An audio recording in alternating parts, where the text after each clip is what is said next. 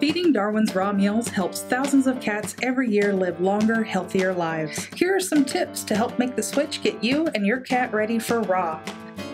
Many cats immediately take to their new raw diet, but you can help make this transition even easier. Prepare them by decreasing the size of their current meals and increasing the frequency of meal times.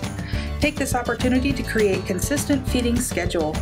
We recommend feeding your cat 2 ounces 3 to 4 times per day, and for you, that means no more free feeding. Safety tip. Don't leave out raw or any fresh pet food for longer than 20 minutes. For those kibble eaters, prepare your kitty for raw by adding warm water to the dry food to help your cat adjust to the texture of raw meals. Here's an easy transition guide. Darwin's food should always be served completely thawed. For days 1 to 3, you want to feed 25% Darwin's. On days 4 to 6, 50% Darwin's. Then days 7 to 9, 75% Darwin's. And by day 10, they will be fully transitioned and you'll be feeding your cat 100% Darwin's. Now, let's review. Start by feeding your cat a flavor that they're used to.